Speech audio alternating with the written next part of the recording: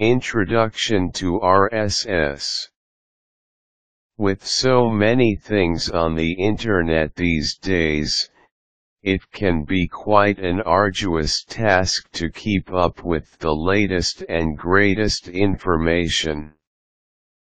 In order to facilitate this dramatic increase in content, a syndication standard called RSS, really simple syndication, was agreed upon which allows users to get new information as it is published.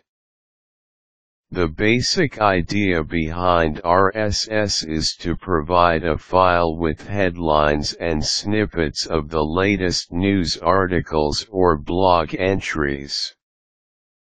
The user's RSS reader will ask for that file every so often to see if there are any new items since the previous file.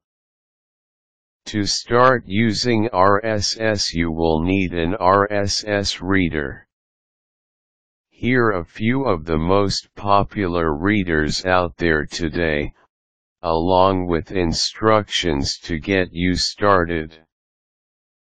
How to use RSS feeds on Mac OS X How to use Bloglines